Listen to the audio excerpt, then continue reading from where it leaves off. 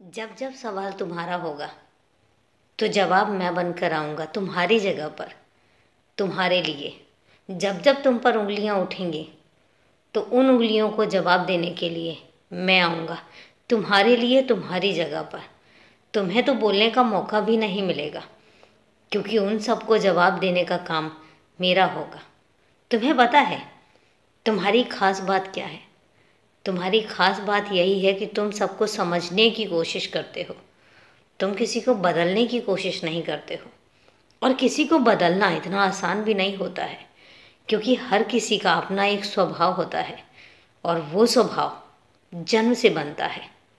और उसके बाद, एक उम्र आने के बाद, उस स्वभाव को बदलना मुश्किल तो क्या नामुमकिन हो जाता है, जब तक कि सामने वाला खुद ना बदलना चाहे। लेकिन तुम्हारी एक खासियत है कि तुम अपने स्वभाव को इतना लचीला रखते हो कि बहुत आसानी से जब तुम्हें लगता है कि बदलाव की ज़रूरत है तो तुम आसानी से बदल पाते हो। आसानी से तुम अपने आप को मोड़ लेते हो। यही कुछ खास बातें हैं जो तुम्हें बहुत भिन्न बनाती हैं और तुम्हें मेरे बहुत करीब लेकर आती हैं। मैं मानता हूँ कि तुम बहुत सी चीज़ों में थोड़ा सा आलस भी कर जाते हो। मुझे पता है, और ये तुम भी जानते हो।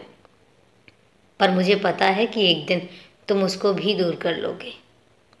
मैं तुम पर यकीन कितना करता हूँ, ये तो तुम्हें भी नहीं पता होगा। सिवाय मेरे कोई भी नहीं जानता है कि मैं तुम पर कितना यकीन करता हूँ। तो मुझे आजमाना बंद करो।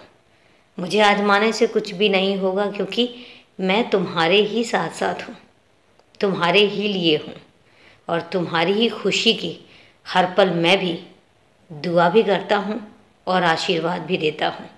दोनों चीज़ें मेरी साथ साथ चलती हैं। मैं क्या करूँ? तो मेरे हो ही इतने करीब, बहुत करीब हो मेरे दिल के। एक दिल का अज़ीज़ टुकड़ा हो तुम, जिसको मैं अपने आप से कभी भी अलग नहीं करना चाहूँगा और ना ही कभी करूँगा। तो इसलिए अपने ऊपर शंका करना और हमारे रिश्ते पे शंका करना बंद करो। कुछ भी नहीं है, सब कुछ ठीक है। बस खुश रहो, सदा खुश रहो।